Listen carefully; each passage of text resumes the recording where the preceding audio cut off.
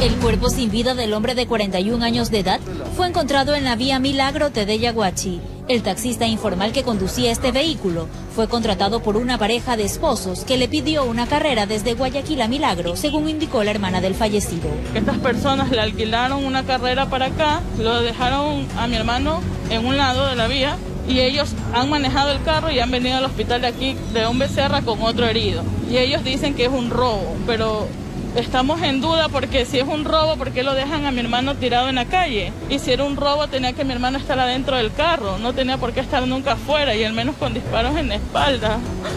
Y lo dejaron tirado ahí. El hombre fue asesinado con varios disparos en su cuerpo. Tanto el herido como la persona fallecida se habrían eh, encontrado acá en Milagro para concretar un supuesto negocio quienes habrían sido citadas por la, otra parte, pues a este sector, a estas horas de la noche, para concretar dicho negocio.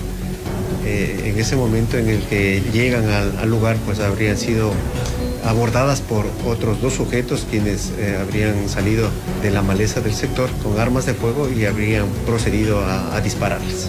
La policía investiga el móvil del crimen. Son personas que no son de milagro, son personas que vienen desde Guayaquil a concretar un supuesto negocio a esas horas de la noche en un lugar eh, rural sin iluminación nos deja muchas dudas pero ya se han iniciado las primeras experticias y estamos en buen camino como Policía Nacional para poder dar precisamente con los autores de este hecho.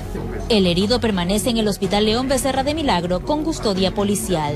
La persona fallecida no presenta registros penales anteriores, mientras que la persona que se encuentra herida, que ya fue intervenida y que se recupera, está estable, presenta antecedentes por robo en el año 2009. Queremos saber qué, qué pasó, qué, qué pasó, porque la muerte de mi hermano no puede quedar tampoco impune. Informó